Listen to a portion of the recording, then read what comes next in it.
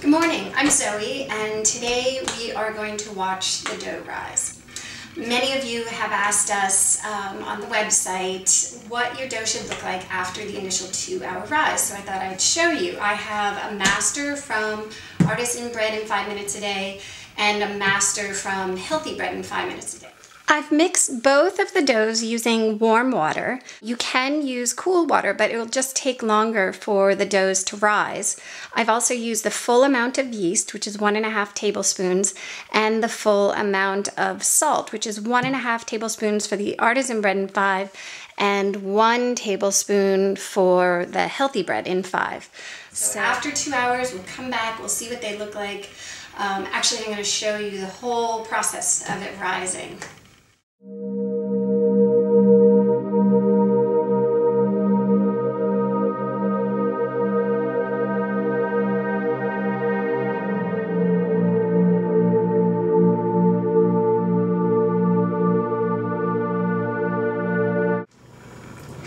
Exactly two hours has passed and the two doughs are actually just about the same. So let's pop them open and check it out.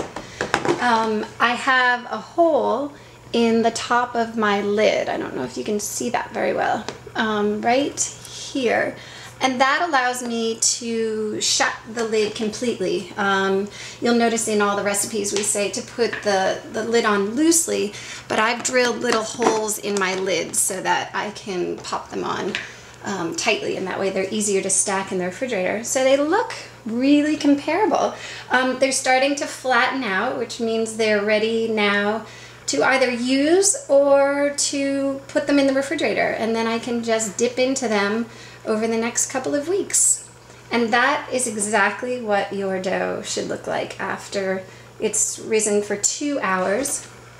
You can see all the nice air bubbles that have developed um, in the dough, and that's exactly what you want. And once I refrigerate these, um, these doughs may actually collapse all the way down um, almost right back to where they started from. And that's absolutely fine and completely normal. And it will never rise up like this again. So you only get this rise for the first initial two hours. All of that, those bubbles are still intact. They're just compressed a bit. Happy baking.